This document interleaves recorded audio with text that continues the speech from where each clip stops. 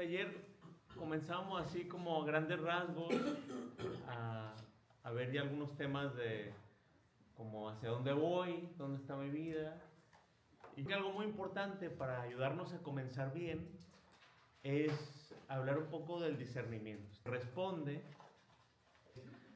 a una gran pregunta, ¿cómo me habla Dios? Cómo yo puedo saber si es Dios, si no. Y yo creo que eso es algo que sale mucho en la oración. Y también nos va a ayudar a detectar como dinámicas dentro de nosotros que, que nos tienen como un poco fuera de, de conexión con Dios, a ponerles nombre. Yo creo que esto, el clarificar, le da un orden a nuestra vida interior. Tengo que aprender a leer desde adentro. ¿Cuál es la voz del Señor? Como leer desde adentro es precisamente esto del discernimiento espiritual. Hay cosas que escucho a alguien decir y puede resonarme como que esto viene de Dios. Y hay cosas que escucho a alguien decir y al revés, me puede alejar de Dios. No, me deja todo mal. ¿Qué está pasando? Eso requiere un poquito de, de, de ponerle palabra a lo que estamos viviendo interiormente y esto es el discernimiento espiritual. Nuestra vida espiritual y en la vida en general traemos muchos caminos por los que podemos andar. ¿Cómo me mueve Dios? Cuando Dios está actuando en mi vida, ¿cómo se mueve dentro de mí el Espíritu Santo, Dios, su fuerza? ¿Cómo se- las mociones, o sea, movimientos interiores que Dios puede generar en nosotros, mociones del espíritu, movimientos, mociones espirituales. ¿Sí? Como si esto tiene mucha analogía con los mapas. Si estuviéramos en un mapa, estuviera en un mapa grande, ¿qué es lo primero que uno tiene que buscar cuando está uno en un parque de diversión, cualquier cosa? El puntito rojo, ¿ah? Eso. ¿Dónde estoy? A ver, deja. Ahí está el puntito rojo. Aquí está usted. Ah, muy bien. Entonces, un poco hay que ver dónde estamos. Y la forma de ver espiritualmente, primero, como hace grande rasgo, dónde estamos, es ver qué dinámica espiritual vengo trayendo eh, recientemente. ¿Voy para allá o voy para acá? Espiritualmente sería, ¿voy de mal en peor en mi vida espiritual? Fácil saberlo. O, voy de bien en mejor. ¿De mal en peor qué significa? Pues de pecaditos a pecadotes, ¿no? De pecados menores a pecados más serios. Y cuando voy de bien en mejor, ¿qué significa? Pues cuando voy como avanzando en la vida espiritual, no quiere decir que cuando ya soy santo, entonces no, sino cuando ya pues ando intentándole, en vez de, de meterme en peores pecados, ya como que le ando tratando de hacer menos. ya ando buscando de Dios. Yo creo que si estamos aquí, yo imagino que la mayoría nos llamamos como en esta segunda. Pero de cualquier forma es importante hablar de la primera.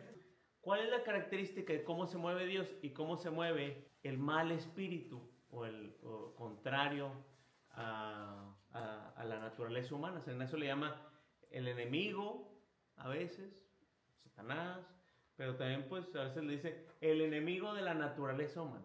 O sea, que siempre el mal espíritu a lo que nos mueve es a la autodestrucción, va en contra nuestra, ¿no? Es lo que no nos hace feliz, lo que nos deja todos mal. ¿Cómo se mueve uno y cómo se mueve el otro cuando vamos de mal en peor? Cuando alguien ya va de mal en peor, lo primero va a hacer todo el movimiento de peor autodestrucción, es todo lo que nos mueve a imaginar más y mayores placeres aparentes. Porque el que va de mal en peor nunca está pensando, voy a ver cómo peco más. ¿Qué pasa cuando nos metemos en pecados? Que le vimos algo, un gustito al pecado. Le vimos un beneficio, algo que le saco jugo. Y a lo mejor me lo estaban ocultando todo este tiempo. o a lo mejor si yo soy el único que lo hago, pues no pasa nada. Pero pues empiezo como a verle lo bueno a lo, a lo que causa destrucción. Y en vez de ponerle atención a cómo me está dañando, ¿a qué le estoy poniendo atención? Al gustito que le saco, ¿no? A lo bueno, al placer. Entonces siempre estoy buscando el placer aparente. Entonces algunos ejemplos con el tema del poder, que alguien diga, tuvimos un pleito y levanté la voz y el otro, fíjate, se echó para atrás. Me funcionó. ¿Para qué ando batallando por la vida? Todo este tiempo, sin gritar. Uy, pobre. Lo que no saber. y entonces, pues a la próxima, ya pienso, ah, pues antes de que se ponga muy mal la cosa, cómo levanto la voz antes. Y entonces, ya- y si me funcionó, pues y, a lo mejor y si hago otra movida de poder, ¿verdad? ¿Qué más puedo decir? ¿Cómo leo la realidad para controlar la cosa un poquito? Y eso se puede volver algo que empiece a invadir toda mi vida interior y yo nomás ando pensando a ver qué movida le hago, cómo le digo, cómo pongo el argumento, cómo esto y el otro. Y al rato todo lo que ando viendo es el placer de ganarle, de ganar, ganar, ganar en la vida, ganar, perder, porque es el que está perdiendo al otro. Pero entonces, para que yo gane como perder, y al rato, pues es pura autodestrucción que traigo y es aparente porque a largo plazo, pues empiezo a notar que, pues me dicen que sí, pero después no me hacen caso en realidad. La gente no quiere de verdad ya relacionarse tanto conmigo, me sacan la vuelta. Yo pensaba que, que todo el mundo me iba a apreciar y ya como que nadie quiere eh, relacionarse. ¿Qué pasa? Pues fue aparente. Y yo lo que andaba buscando en realidad era el amor, pero pues ya aquí nadie me quiere. pues ahí hay algo, ¿no? Poder. Otro puede ser las mentiras. Alguien puede empezar como muy sencillito con una mentirita y luego nadie se dio cuenta. Ah, hijo. Mira, pues todo lo que le podría sacar a la vida si, si cuento mentiras. Y entonces pues, puedo contar otra y luego otra y luego otra. Y al rato ya ando, pues no pensando qué voy a decir. Y ahora a ver si miento sin necesidad para, para que no me cachen cuando miente, que, si había necesidad. Al rato de traer un relajo y qué, le dije a fulano para que no le diga sutana, ¿no? Y cómo, cómo cuento, si se dan cuenta, para que no me descubran. Y ya traigo un relajo interior, no veo lo destructivo que está haciendo, ya la gente no me confía, no veo eso. Lo único que estoy viendo es más placer aparente. ¿Cómo me salgo con otro? Pero, pues esto aparente, aparente, ¿no? Pero la vida interior, pues empieza a volver, como, como le agarro más ese gustito. A veces son cosas que hemos aprendido como a defendernos de la vida. O sea, que pienso, pues no hay de otra. Si yo no contaba mentiras, eh, después me iba muy mal en la casa. Y, nos hacemos a la idea que es como la única forma de vivir, ¿no? Algo que a lo mejor en un momento como que fue la única forma de sobrevivir y ya después como que se nos vuelve a que no lo podemos soltar. Claro, esta es la dinámica de toda la adicción. Se siente bien si me tomo dos, se siente bien si me tomo tres, cinco, seis, ah. Y, luego al rato, pues ya traemos problemas de, pues en el cuerpo por todos lados, con las relaciones, es un, un desastre. Pues el mal espíritu es el que nos trae a esa persona que ya anda toda deshecha en su vida, no está viendo lo que está deshaciendo, lo que está viendo es a ver qué se siente bien, ¿no? O cómo me evito lo negativo que traigo con la tomada, ¿no? Pues, cuando tomo ya no me siento mal, o cuando tomo ya no traigo esta cosa que se me viene el sentido de culpa, cuando tomo ya no me acuerdo de esto que me pasó, pues, pues, pero no, hay otras formas de integrarlo mejor pero al no conocerlas o al no intentarlas, pues aquí estamos. Algo, cosita buena que le sacamos, nomás en eso nos enfocamos, pero es aparente porque al rato me quedo sin eso, porque me quedo sin salud. Entonces, ahí está el mal espíritu. Más y mayores placeres aparentes muy sencillo. Y el buen espíritu, entonces, ¿cómo trabaja Dios cuando alguien va de mal en peor? En esta dinámica de destructiva, hacia sí mismo, hacia el mundo, hacia los demás, pues Dios aquí va a ser un poco incómodo. Dios aquí nos va a mover a ver las consecuencias de, de lo que anda haciendo. El que miente no quiere ver que anda haciendo daño. El que toma no quiere ver que está haciendo daño al cuerpo, que está viendo dolor de cabeza, que no, ya anda todo irritado, que no se siente bien. No, eso no quiere ver. Pero de repente va a haber como un pequeño momento de, ay caray, sí como que no me siento bien, ¿verdad? No, mejor no hay que pensar en eso otro. Pero esos momentos, cuando andamos de mal en peor, son como momentos de lucidez, de verdad, de luz, de justicia, que es como el, el buen espíritu diciéndonos, hey, mira, mira, está llorando tu esposa, mira, mira, tus hijos están ahí abandonados, oye, caray, pues se siente muy mal, pero es como un abrir los ojos, que es una dinámica de Dios, puede ser incómoda. Puedo ver, por ejemplo, cómo lastiman mis acciones a los demás, cómo me estoy autodestruyendo, cómo tal vez no soy la persona que yo quisiera ser, como esta no es la persona como, con la que yo me identifico, si yo no quería ser mentiroso, yo era, nomás así me ven, o así soy, así estoy actuando. Entonces es un poco incómodo y, es, y, esto hay que hablar de, de la diferencia entre la culpa saludable y una culpa negativa o la vergüenza. La culpa saludable, ¿a qué se refiere? Pues cuando yo me doy cuenta que traigo, que estoy haciendo algo mal, que tengo un problema, que tengo una situación, y digo, pues yo lo hice, pues tal vez yo también lo puedo dejar de hacer. Tal vez puedo buscar otra forma. Esta es la culpa saludable. Y reconozco que hice mal. Y puede venir inclusive hasta con lágrimas, decir, Uy, pues no lo quería ver, pero ahora que lo veo, pues sí como que estoy dañando mucho a mi familia. Wow, eso puede ser totalmente sano. Cuando ya no es saludable, es cuando eso se vuelve como una vergüenza que en vez de decir, yo hice algo mal y yo lo puedo cambiar, decimos, yo soy de lo peor. Yo soy muy mal esposo, esposa. Fui muy mal amigo, amiga, persona. Soy una basura, no valgo para nada. ¿Qué pasa? Esa voz ya no es de Dios. Ya no es ver la realidad, porque eso tampoco es la realidad. Me identifico tanto con mi pecado que ya digo, yo soy mi pecado. ¿Por qué hacemos eso? Pues quién sabe, hay como estudios que dicen que tal vez tiene que ver con, pues si me, si me siento muy, muy mal, a lo mejor alguien más viene aquí a abrazarme. si digo que soy basura, a lo mejor alguien dice, oye, pues no, no tanto. a lo mejor otra gente, eh, como estudios, también creen que, ¿por qué hacemos eso? Porque si yo me, me, me trato muy mal y como que veo todo lo malo y, y, peor, si alguien nota algo malo que tengo, pues no, no me hace daño, porque yo ya me he hablado tan mal. ¿Usted cree que si usted me dice algo, chiquito se queda. Si vieron lo que yo me insulto. Entonces por ahí hay una, como una forma de defendernos de que, de, de, que nos descubran, por ejemplo, ¿no? Pero pues eso no es culpa saludable. La culpa saludable, ¿qué, ¿qué reconoce? Pues cuál es mi identidad principal. Soy hijo, hija, amado, amada de Dios. Y de ahí, pues sí me he equivocado, sí la regué, sí esto, pero ¿quién soy? no soy un mentiroso, no soy un de lo peor.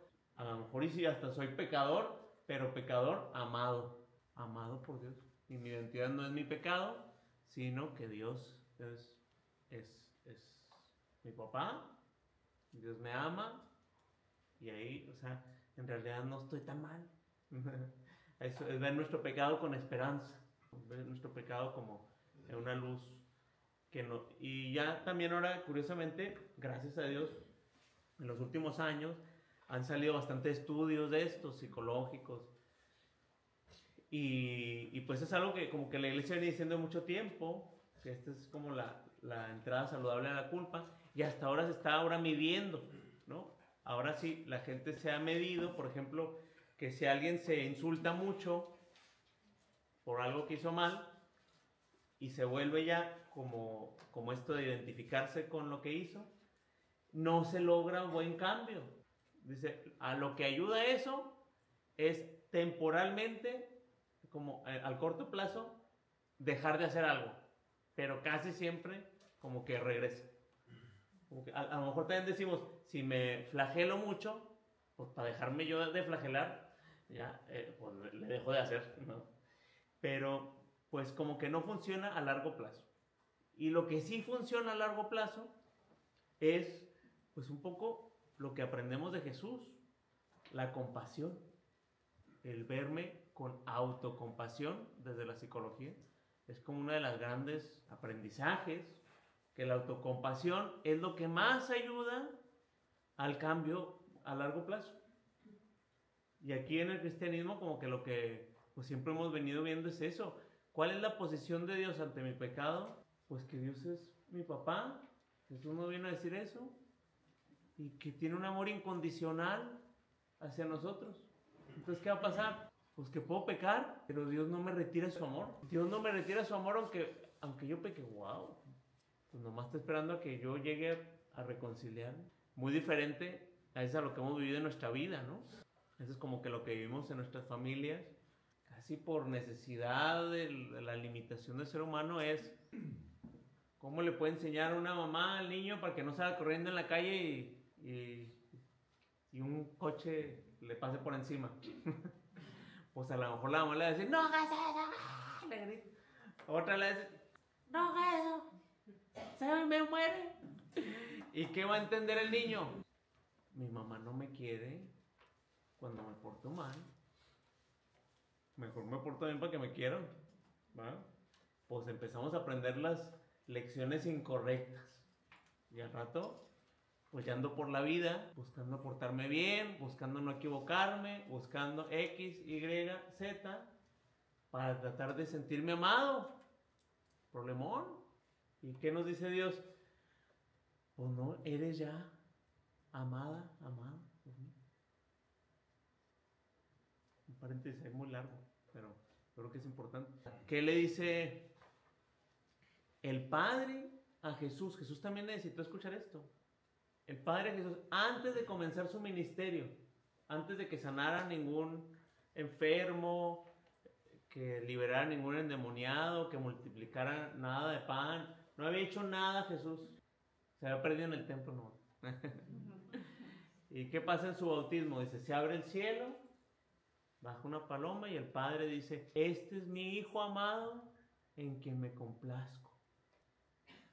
Pues no ha hecho nada Jesús. ¿Y por qué será que el Padre le dice eso ahí? Pues a lo mejor por lo mismo que nosotros necesitamos oírlo. Porque es muy fácil ponerle nuestro sentido de valor en lo que hacemos. Es muy fácil sentir que si no hago, no soy amado. Además Jesús va, va, a experimentar mucha dificultad y mucha persecución. Yo creo que importantísimo para el Padre decirle a Jesús, antes de que sanes, antes de que hagas, ¿cuál es tu identidad? Acuérdate que no se te olvide todo esto porque va a ser esencial. Eres mi hijo amado en que me complazco. Y nos lo dice también a nosotros. Desde aquí, aunque se pueda sentir incómodo, es una culpa que viene mucho dentro del amor. De cómo entro en esto bien. Yo veo mucha gente que cuando empieza a pensar en su pecado, como que ya tiene mucho tiempo haciendo eso, y no puedo ver mi pecado sin verme como lo peor.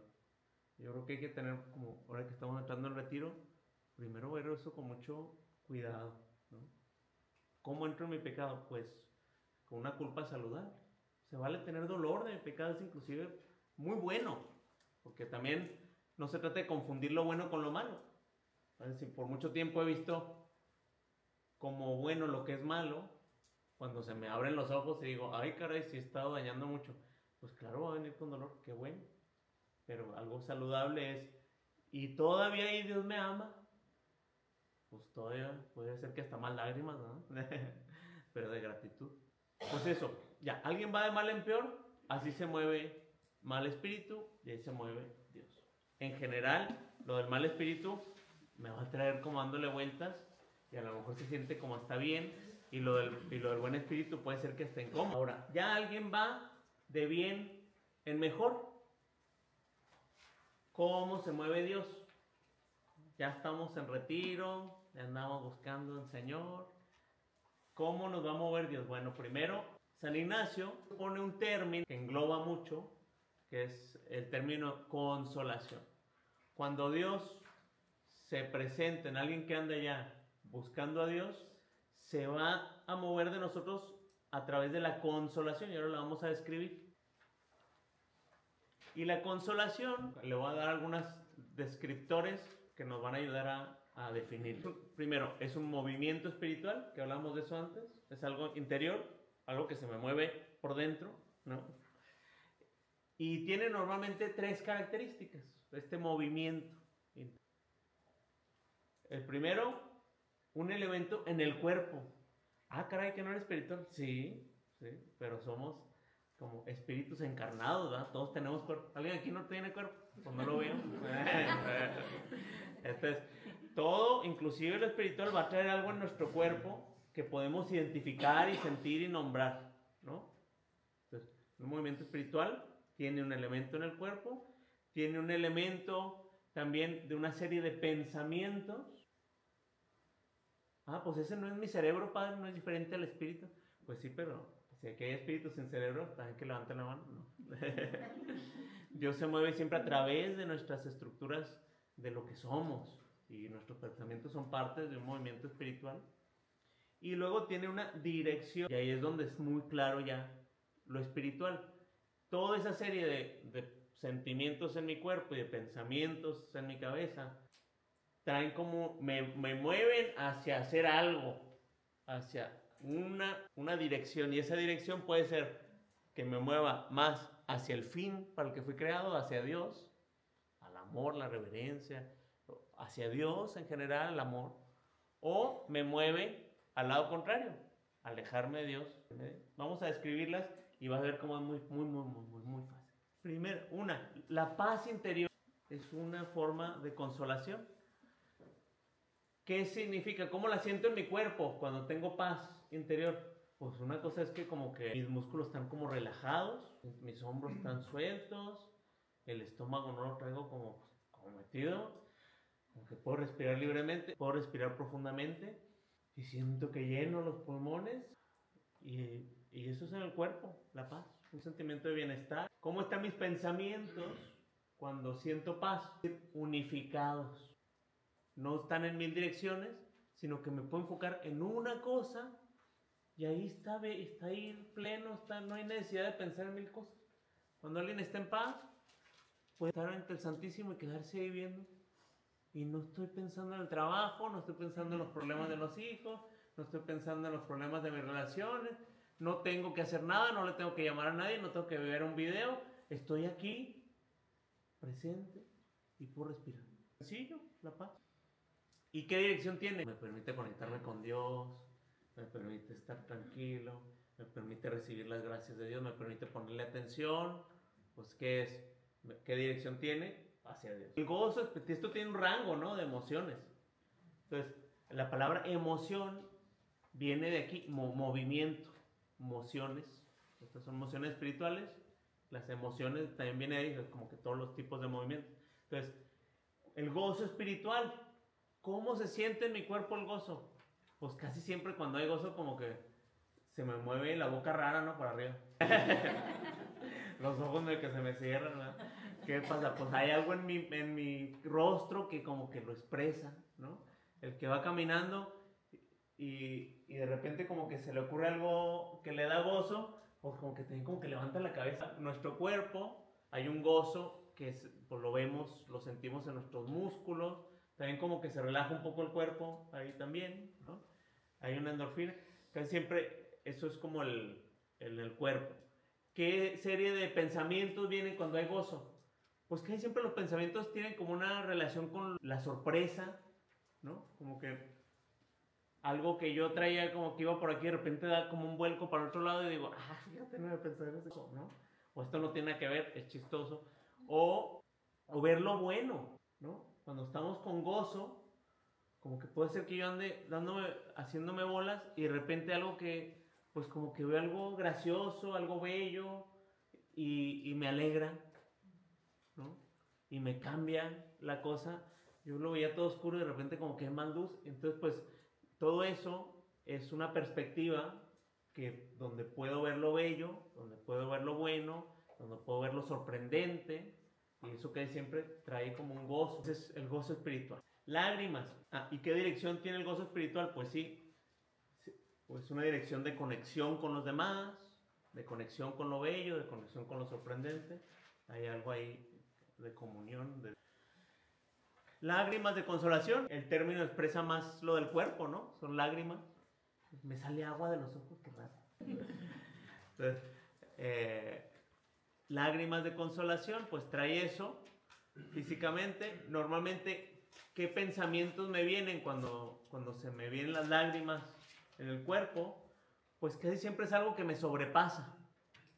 Como que es una experiencia que como que yo creía que aquí estaba el límite de lo bueno y de repente como que esto es mucho más bueno, ¿no? O esto eh, me rompe el corazón a lo mejor el, el, escuchar el dolor de alguien más y yo no esperaba que alguien sufriera tanto y uh, pues se me viene la lágrimas. Es algo que me sobrepasa o que se, se, pasa de lo normal y el cuerpo como que trae las lágrimas, pero es como el, el sobrecogimiento, ¿no? Por algo. A veces puede ser por compasión, puede venir lágrimas. También lo que decíamos, lágrimas por dolor de mi pecado, que pueden ser muy buenas. Darme cuenta que, fíjate todo este tiempo, todo lo que ando haciendo es chingo. Lágrimas de consolación. Otro es elevación de la mente a Dios. Este es más claro algo de los pensamientos, ¿no? Pero también tiene algo que ver con el cuerpo. ¿A qué se refiere esto? Pues que de repente yo puedo estar caminando por un lugar donde camino toda la vida y esta vez noto una florecita y digo, wow, qué belleza la creación de Dios, ¿cómo Dios puede algo tan pequeñito crear tan bello? Y un poco como que se me eleva la mente desde algo que era, que está ahí, empiezo a pensar en Dios, en la creación, en los dones de Dios. Entonces, casi siempre, pues en el cuerpo a lo mejor hay como levantar la cabeza, ¿no? Reconocer hacia arriba. Eh, pero pues algo más en los pensamientos esto, ¿no? La elevación de la mente a Dios. Eh,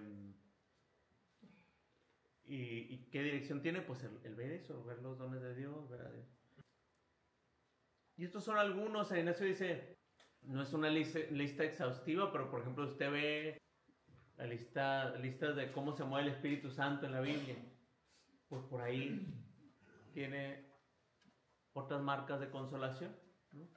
Cuando hay sabiduría, cuando hay este consejo, control de sí mismo, ¿no? hay, hay Pero bueno, esto es una lista así básica que nos ayuda.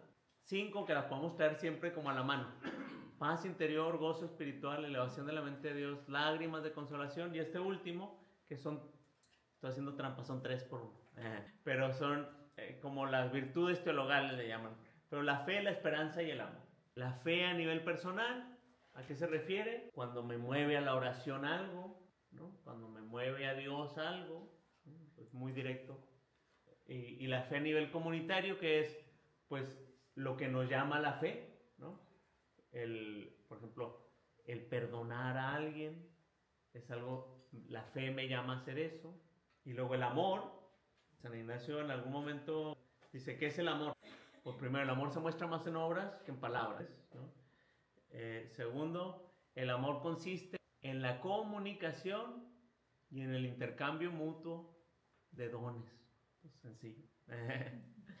Entonces, ¿pero qué es el amor? Pues el comunicarme, revelar al otro, ¿no? Para que me conozca, para que sepa, qué me está pasando interiormente. Eso es, es, un acto de caridad, el darme a los demás, el compartir quién soy. Y el intercambio de dones. Sé hacer esto, esto me sale, tengo tiempo, tengo una sonrisa, te lo puedo compartir, tengo espacio, tengo tiempo, te lo puedo dar, ¿no? Esto es pues el, compartir de mis dones, de lo que tengo y lo que puedo, pues ese es el amor. Eso es algo de mí. Y la esperanza. Siempre que hay esperanza, pues ¿qué es? Porque aunque estén las cosas muy mal, Dios va a estar conmigo. Dios ha estado conmigo en otras cosas difíciles y Dios va a estar conmigo también. Y eso es como la esperanza. Paz interior, gozo espiritual, elevación de la mente de Dios, lágrimas de consolación y fe, amor y esperanza. Cinco sencillos, eso es consolación. Yo creo que todos podemos conectarnos con momentos donde le hemos sentido. ¿Cuál es la desolación? Lo bueno que ya no, ya no se tiene que preocupar mucho, porque es lo mismo, nomás al revés. Entonces, paz interior, ¿cuál es lo contrario de la paz? La agitación. Cuando traigo paz, el cuerpo relajado, aquí, el cuerpo todo apretado, los músculos tensos. Cuando alguien anda agitado, que siempre trae los hombros así metidos como tanquecito para protegerse. No van a pegar. Entonces trae uno agitado. Cuando anda agitado uno, también anda como de arriba para abajo. No puede parar. ¿Cómo andan los pensamientos? en muchas direcciones. Por aquí, por allá. Tengo que hacer esto, tengo que hacer esto otro. Y ya estoy haciendo una cosa, pero no la puedo terminar porque la otra más importante. Cuidado, rápido, antes de que... Y si no lo es ahorita, ya valió, córrele. ¿Y qué pasa? Pues anda uno agitado, esa es la naturaleza, anda disperso, ¿no? Por mil cosas. Entonces, la agitación es esa. Segundo, en vez de paz, en vez de gozo espiritual, la tristeza. Hay una serie de pensamientos que, que yo creo que también hay que como distinguirlo un poco de cosas que nos pueden pasar en automático, como pasó esto y, y me sentí triste, a cuando es algo que yo estoy como usando mi, mi libertad para darle vueltas a lo triste, a lo malo en mi vida. ¿no? ¿eh? Depresión. Pues la depresión puede ser, pero no necesariamente. Por eso yo creo que es de lo que vale la pena hacer un poco la, la distinción entre algunas de estas cosas. El, es como un diagrama de Ben esto, que, que son como hay cosas que pueden estar dentro de la depresión que tienen que ver con lo espiritual y luego otras cosas que ya no. Hay como toda esta área que no es necesariamente tristeza espiritual. ¿no? Alguien puede traer, por ejemplo, un tema de, de un desajuste. Un ejemplo, cuando intencionalmente yo como que le empiezo a desarrollar un gustito a, a, a verme como lo que sufro, como un victimizarme. ¿No? Entonces, a veces, por ejemplo, nos puede pasar que nos sintamos mal por algo, pero tiene que ver con a veces lo hormonal, a veces lo otro, y eso puede comenzar nada más como algo que me siento mal, y luego ya yo le empiezo a tratar de interpretar, y ahí es donde empiezo a meterme en un problema, ¿no? ¿No? Entonces, ya le meto yo mucho contenido, no es que aquí nadie me quiere, aquí nadie me aprecia, pues es diferente, me sentía mal, ya le, ya le estoy metiendo acá un elemento espiritual a toda la cosa. Y ahí es donde como un poco el mal espíritu se... cosas de otro tipo, ¿no? Entonces, ¿se puede meter por ahí el mal espíritu en una depresión? Sí, pero no necesariamente. ¿no? ¿Se puede meter el mal espíritu en una herida? Sí. Una herida, ¿qué hace? Pues con, si le empiezo a dar vueltas siempre a la herida, ya digo, no, pues es que todo el mundo es malo y todo el mundo lo que quiere es hacerme mal y herirme. Y, y, no, pero esta persona no te pero quería. No, pero si le hubiera dado chance, me pegaba. Y entonces mi libertad la empiezo a usar para darle vueltas y algo que, pues que sí pasó y que hay que sanar y hay que trabajarlo. Se monta ahí como el mal espíritu y con mi libertad se empieza a hacer un problemón. Y entonces esto hay que reconocerlo, que hay una tristeza espiritual y es cuando meto mi libertad para, para darle, darle vueltas y se hace un problema más grande. Que a lo mejor es un problema real, ¿no? No es que no sé. Otro, en vez de lágrimas de consolación, yo hasta quería corregir a San Ignacio. Yo decía, seguramente lágrimas de desolación. Ay, ¿cómo se... Pero San Ignacio dice, no, lo contrario es la sequedad. Entonces las lágrimas son mojadas, la sequedad es porque se caen. ¿no? Pero es como, en realidad lo que está diciendo San Ignacio es que las lágrimas son una expresión de una emotividad que me sobrepasa y a veces como lo contrario es cuando no me permito sentir eso es más problemático. A veces cuando alguien ha vivido algo muy difícil, ah, como esto que decimos, ahí se monta en el espíritu y, empieza, y entonces alguien puede decir, pues no vuelvo a sentir, no me la vuelven a jugar. Eso me pasa por ser, por ser bueno, por ser amoroso, por ser tierno, por ser eh, ingenuo. Por, entonces, no me vuelvo a dejar sentir. Entonces hay gente que si esto lo llevamos como un extremo, anda viviendo su vida como robotitos. Pues aquí yo no me voy a involucrar porque cuando me involucré me pegaron, me dañaron. Pues lo necesario para subsistir. Yo aquí trabajo, trabajo, ¿eh? a dormir. Y el otro día trabajo, como, ¿eh? dormir. Así, pues, no están sintiendo, no se dejan, no se dan a los demás, no permiten que nadie les, se les acerque y pues es una forma de vivir muy triste, pero pues es ahí pero no me dejo sentir, no me dejo sentir, para, no, para no, que no me dañen, pues tampoco vivo. Otra, en vez de la elevación de la mente a Dios, aquí es como una limitación de mi visión, o el no permitirme ver el significado, el simbolismo, no permitirme ver a Dios, el autor de la creación, en la creación. ¿no? Entonces, por ejemplo, alguien puede decir lo de la flor. Ay, la flor que me eleva la mente es Aquel, alguien puede decir, ¿Cuál me va a elevar la mente a Dios? Una flor es una flor. Células ahí que se combinan y la refracción de la luz que hace rojo, pero no tiene nada de bonito, bello. Eso es eh, material orgánico. Igual que un moco. Pues, pues, pues, bueno, alguien puede decidir que la flor es igual que un moco y está bien, pero ya cuando andamos metiéndole así, que estamos pues, intencionalmente limitando mi visión. No me permito ver. O cuando me muevo sin amor, sin fe o sin esperanza. A veces esto es más intencional y a veces ya es difícil salirnos y lo traemos como en automático sin darnos cuenta, ¿no? No es siempre que yo lo estoy haciendo, a veces también ya nada más estoy en ese modo. Tenemos ya dos minutos, así que la próxima plática la vamos a, a comenzar por aquí y le vamos a hablar ahora de la tarea o el el ejercicio para la siguiente, el siguiente momento. Hay mucho de qué hablar aquí, esto nos va a ayudar a tomar decisiones, esto nos va a ayudar en muchas cosas en la vida. Pero lo primero que yo creo que es importante es el abrir los ojos y el ir reconociendo la consolación en mi vida. Yo le aseguro que usted vino al retiro con algunos temas de desolación que quería revisar. Va a haber tiempo para eso, no se preocupe se puede latigar